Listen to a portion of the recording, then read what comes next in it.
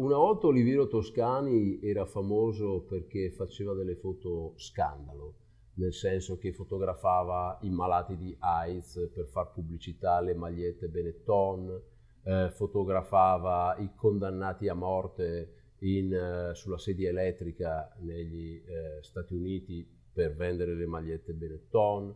eh, metteva eh, una donna anoressica per vendere delle altre magliette che non erano Benetton, una ragazza, cioè faceva delle foto scioccanti. Oggi non è più capace di fare foto scioccanti e quindi c'è solo cose sciocche anziché scioccanti. E le cose sciocche sono queste qui, cioè dare dei coglioni agli italiani è una cosa sciocca. Gli italiani votano in base alla loro coscienza e al loro interesse. Non sono né fascisti né nazisti né comunisti semplicemente scelgono quello che ritengono di dover scegliere, cioè l'offerta politica che c'è sul mercato. L'offerta politica sul mercato oggi prevede qualcuno che magari è favorevole ad aprire i porti e qualcuno che è favorevole a chiuderli e quindi gli italiani scelgono quelli che vogliono chiuderli perché ritengono che uno dei problemi di questo paese sia anche una immigrazione disordinata, il che non vuol dire essere contrari all'immigrazione,